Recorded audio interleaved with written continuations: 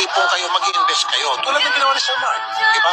Huwag yung bigay dito sa kanyang manliligaw, bigay doon sa nakilala sa Facebook, bigay rito sa boyfriend, bigay doon kay pamangkin, kay tatay, nanay, kung sino-sino bibigyan, hindi lahat ng oras kayo po yung OFW. Hindi lahat ng oras malakas kayo dyan sa abroad.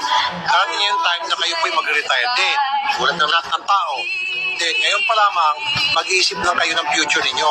Mag-iipon kayo, mag-invest kayo. Tulad ng ginawa ni Sir Mark. Di ba?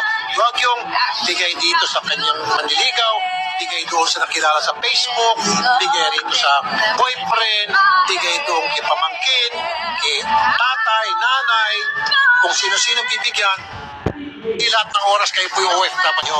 Mag-iipon kayo, mag-invest kayo. Tulad ng ginawa ni Sir Mark. Di ba?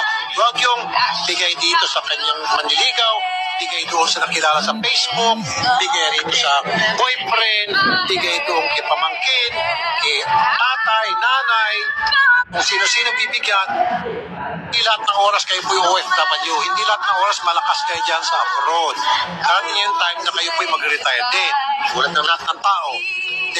Lamang, mag-iisip lang kayo ng future ninyo. Mag-iipon kayo, mag-invest kayo. Tulad ng ginawa ni Sir Mark. Di ba? Huwag yung bigay dito sa kanyang manliligaw, bigay doon sa nakilala sa Facebook, bigay rito sa boyfriend, bigay doon kay pamangkin, kay tatay, nanay, kung sino-sino bibigyan, hindi lahat ng oras kayo po yung OFW.